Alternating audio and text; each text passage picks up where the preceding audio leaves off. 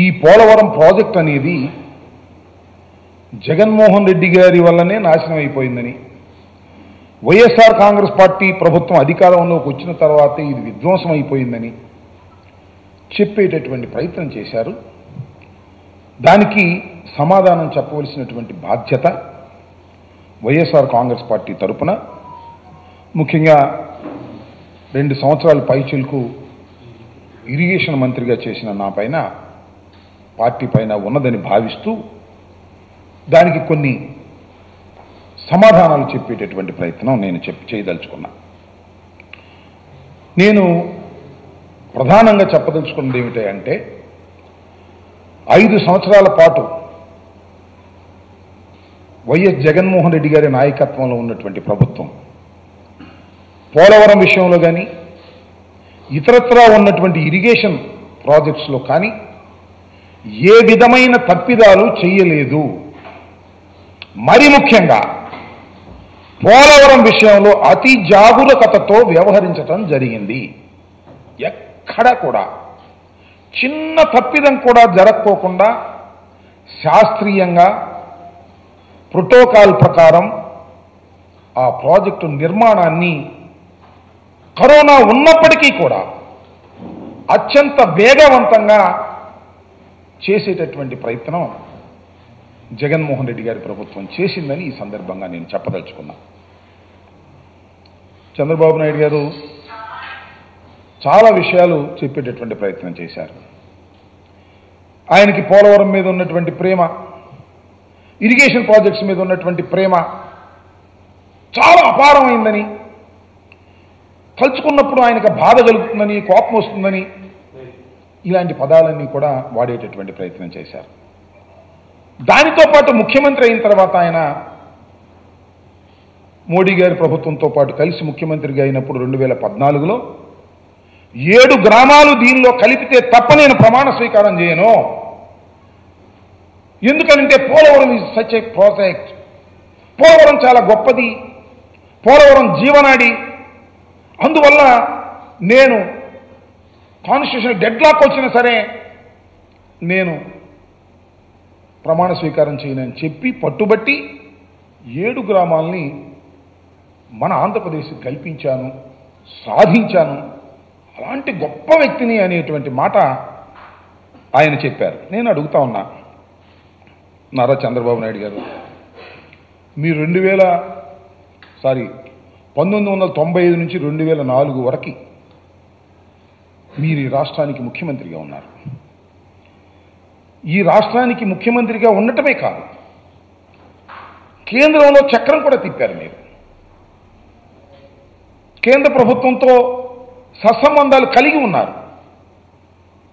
ఎందుకు మీరు జీవనాడైనటువంటి పోలవరాన్ని గురించి ఎందుకు మీరు ఆలోచన చేయలేదు? మళ్ళా తిరిగి రాజశేఖర రెడ్డి గారు వచ్చిన తర్వాత మాత్రమే రాజశేఖర రెడ్డి గారు ఆలోచన చేయాల్సిన పరిస్థితి ఎందుకు వచ్చింది మీకు నిజంగా రాష్ట్రం మీద ప్రేమ ఉన్నా? నిజంగా నీటి మీద ప్రేమ ఉన్నా? వ్యవసాయం మీద ప్రేమ ఉన్నా? గోదావరి నది సముద్రంలో కలిసిపోతున్నా? మీరు చూస్తూ ఎందుకున్నారు? ఎందుకు ఈ ఆలోచన రాలేదు? రెండు వేల పద్నాలుగులో మీరు ఓటమి పాలై డాక్టర్ రాజశేఖర రెడ్డి గారు ముఖ్యమంత్రి అయిన తరువాత మాత్రమే ఎందుకు పోలవరాన్ని రాజశేఖర రెడ్డి గారు తీసుకొచ్చేటటువంటి అవకాశం మీకు ఇచ్చారు? రాజశేఖర రెడ్డి గారి కన్నా ముందే మీరు ముఖ్యమంత్రి అయ్యారు కదా. మరి ఎందుకు మీరు ఆలోచన చేయలేదంటే దీన్ని బట్టి అర్థమవుతుందేంటి ప్రజలు కూడా అర్థమయ్యేదేంటి మీకు అసలు పోలవరం మీద కానీ గోదావరి నది మీద కానీ అవగాహన లేదని నేను అనను. ఎందుకంటే మీరు వయసులో పెద్దవారు నాలుగోసారి ముఖ్యమంత్రిగా చేస్తున్నారు. శ్రద్ధ లేదు. ఆ ఆలోచన లేదు. ఇవాళ ఏడు గ్రామాలు తీసుకొచ్చి నేను కలిపేంత వరకు నేను విశ్రమించనని చెప్పేసి నేను మోడీ గారితో పంతం పట్టు కూర్చున్నాను. అందువల్ల ఏడు గ్రామాలు కలిశాయి అనేటువంటి మాట మాట్లాడుతున్నారు. రాజశేఖర రెడ్డి గారు లేరు. ఆయన ఎంత శ్రమ చేశాడో ఆయన చెప్పుకోవడానికి ఆయన లేడు. నువ్వు ఏడు గ్రామాలు కలిపినందుకే చాలా గొప్పగా చెప్తున్నావు. రాజశేఖర రెడ్డి గారు ఎన్ని అనుమతులు తీసుకొచ్చాడు పోలవరం ప్రాజెక్టు కేంద్రంతో మాట్లాడి. ఒకటే రెండా? అనేకమైన అనుమతులు రెండు వేల ఐదు నుంచి. నిర్మాణ సంస్థల అనుమతి తీసుకొచ్చాడు పర్యావరణ అనుమతులు తీసుకొచ్చారు వన్యప్రాణ రక్షణ అనుమతులు తీసుకొచ్చారు పునరావాస ప్రణాళిక కావాల్సిన అనుమతులు తీసుకొచ్చారు పాపికొండల వన్యప్రాణ రక్షణ కేంద్రం మళ్ళింపునకు అనుమతి తీసుకొచ్చారు. ఇట్లా ఒకటి కాదు రెండు కాదు చాలా క్లిష్టమైనటువంటి అనుమతులు. క్లిష్టమైనటువంటి అనుమతులన్నీ కూడా ముఖ్యమంత్రిగా ఉండి కేంద్రంతో మాట్లాడి అనేక సార్లు ఢిల్లీ వెళ్ళి విజిట్ చేసి ఎంపీలతో కూడా కలిసి లైజాన్ చేసి అన్ని అనుమతులు తీసుకొచ్చినటువంటి మహానుభావుడు డాక్టర్ వైఎస్ రాజశేఖర రెడ్డి గారు. నేను ఎందుకు చెప్తున్నానంటే డాక్టర్ వైఎస్ రాజశేఖర రెడ్డి గారు కలలు గన్నటువంటి ప్రాజెక్టుది. ఆయన టైంలోనే నిర్మాణం ప్రారంభమైంది. కాలువలు తవ్వారు. లెఫ్ట్ అండ్ రైట్ కెనాల్స్ సరే నీకు అవకాశం వచ్చింది. నువ్వు చేసేటువంటి అవకాశం వచ్చింది నువ్వు అధికారంలోకి వచ్చావు. నేను ఇక్కడ అడుగుతా ఉన్నా. ఇంకా చాలా వివరంగా కూడా నేను చెప్పాల్సినటువంటి బాధ్యత నాకుంది. ఆయన అంటున్నాడు నా కడుపు మండిపోయింది నా కోపం వచ్చింది. మాకు చాలా బాధేస్తుంది నువ్వు చెబుతున్నటువంటి అసత్యాలు చూస్తున్నప్పుడు నువ్వు జగన్మోహన్ రెడ్డి గారి మీద వ్యక్తిత్వ హననానికి పాల్పడుతున్నప్పుడు రాజకీయాలకు పనికిరానటువంటి జగన్మోహన్ రెడ్డి గారు ముఖ్యమంత్రి. అయ్యి దీన్ని సర్వనాశనం చేసేశాడు అనేటువంటి ఒక అపవాదు వేస్తున్నప్పుడు పదే పదే పదే పదే జగన్మోహన్ రెడ్డి గారిని దూషించాలనే ప్రయత్నం చేస్తున్నావు. నాకు అర్థమవుతుంది. ఎందుకు దూషించాలని ప్రయత్నం చేస్తున్నావు? నాకు అర్థమవుతుంది. ఎందుకు దూషించాలని ప్రయత్నం చేస్తున్నావంటే జగన్మోహన్ రెడ్డి గారు అంటే భయం. మళ్ళా జగన్మోహన్ రెడ్డి గారు ఈ రాష్ట్రంలో ఒక బలమైన శక్తిగా తయారవుతాడనేటువంటి ఒక భయం. ఆయనకి నలభై పర్సెంట్ ఓట్ల శాతం ఉందనేటువంటి భయం. మీరు ముగ్గురు కలిసినా కేవలం యాభై ఆరు శాతం మాత్రమే వచ్చాదనేది నీకు తెలుసు కాబట్టి. మళ్ళా జగన్మోహన్ రెడ్డి గారు మళ్ళా ఇంతై అంతై ఒటుడంతై అన్నట్టుగా రాబోయే కాలంలో పెరిగిపోతాడు కాబట్టి. నువ్వేం చేయలేవు కాబట్టి. నువ్వు ఇచ్చిన వాగ్దానాలను నిలబెట్టుకోలేవు కాబట్టి. చదువు దొరికింది శ్వేతపత్రం పోలవరం జగన్మోహన్ రెడ్డి గారు సర్వనాశనం చేశాడు. ఆంబూత్ అంటాడు మళ్ళా. నన్ను ఆంబోత్ అనేటువంటి మాట మాట్లాడాడు. నన్నే అనుకుంటున్నా మరి. ఎందుకంటే ఒక అనేవాడు కదా. నీకు ముఖ్యమంత్రి అయ్యారు కానీ ఇంకా గౌరవం పెరగాల్సింది నీకు అహం పెరిగినట్టుగా ఉంది. పట్టుకొని ఆంబోతు అనేటువంటి కార్యక్రమం. చాలా విజువల్స్ కూడా వేశారు. నేను గత ఎన్నికలు గత ప్రెస్ మీట్లో ఒక మాట చెప్పాను పోలవరం ఈజ్ చాలా సంక్లిష్టమైంది. అర్థం కాదంత తేలిగ్గా. నాకు కూడా అర్థం కాలేదు అనేటువంటి మాట.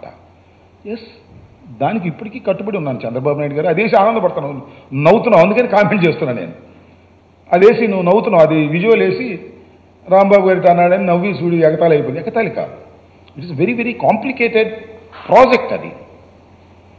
అది అంత తేలిగ్గా అర్థం కాదు నాకు అర్థం కాలేదు తర్వాత అర్థం చేసుకున్నాను. అర్థం చేసుకున్న తర్వాత నిర్ణయాలు తీసుకున్నాను. I have study the lot రెండు సంవత్సరాల కాలంలో నాకు వచ్చినటువంటి అవకాశంలో చాలా స్టడీ చేసి ఒక నిర్ణయానికి వచ్చినటువంటి వ్యక్తిని అని చెప్పడం కోసం చెప్పినటువంటి మాటని మీరు వేసుకొని ఆనందపడేటువంటి కార్యక్రమం చేస్తున్నారు. జగన్మోహన్ రెడ్డి గారిని కూడా వేసి ఇదిగో పూర్తి చేస్తా అన్నాడు. చేయలేదు. చూడండి. అని నవ్వుతున్నావు. నీ పక్కన అంతా కూడా నీ తాబేదారులు నీ సమ్మతీయులు అందరూ ఆ నీకు సంబంధించిన మీడియా వాళ్ళని పెట్టుకుని వాళ్ళతో క్వశ్చన్లు ఎంచుకుని నేను అడుగుతున్నానయ్యా చంద్రబాబు నాయుడు గారు మీరు ఐదు సంవత్సరాలు ముఖ్యమంత్రిగా ఉన్నారు గతంలో. మీరు ఏం చెప్పారు అప్పుడు? మర్చిపోయారా? ఒకసారి వేయండి అయ్యా రాసి పెట్టుకో అన్న ఆయన లేడు ఇప్పుడు. ఇంకో ఆయన వచ్చాడు పక్కన ఇరిగేషన్ మంత్రి గారు. పచ్చ చొక్కా వేసి కూర్చున్నాడు. నిమ్మల రామానాయుడు గారు. బాగా స్టడీ చేసే మనిషే. నేను శాసనసభలో కూడా చూసి ఆపోజిషన్లో ఉన్నప్పుడు. ఆయన ఏం మాట్లాడలేదు ఇవాళ? ఇరిగేషన్ మంత్రి గారు ఎందుకు మాట్లాడలేదు? కారణం ఒకటే ఆయనకి ఇంకా అర్థం కాల. అర్థం చేసుకుంటాడు. నేను చెప్పాను చాలా క్లిష్టమైంది అర్థం కాదు అని. నీకు కూడా చాలా అర్థం కాల ఇంకా. నాకు అర్థమైంది పెద్దవాడు అనలేదు కానీ నీకు కూడా ఇంకా అర్థం కాలేదు ఎందుకని అర్థం కాలేదంటే forty one point one five first stage forty five point seven two second stage అనే దాని మీద నిన్ను ప్రశ్నలు అడిగితే దాన్ని స్టడీ చేయాలనేటువంటి మాట మీరు మాట్లాడారు. నేను ఏమిటి ఇక్కడ చెప్పదలుచుకుంది ఏంటంటే మీరు మమ్మల్ని పూర్తి చేయలేదు అనేటువంటి మాట మీరు మాట్లాడుతున్నారు మరి మీరిచ్చిన మాటను ఏ విధంగా సమర్థించుకుంటారు? Number one. నెంబర్ టూ మొత్తం టోటల్గా చంద్రబాబు నాయుడు గారి ఇవాళ శ్వేతపత్రం మీద ఇచ్చినటువంటి ప్రజెంటేషన్ కానీ వారు చెప్పినటువంటి ఉపన్యాసం కానీ వారు చెప్పినటువంటి లెక్కలు కానీ ఒక్కసారి మీరు పరిశీలన చేయండి. ఆత్మవిశ్వాసం లేదు.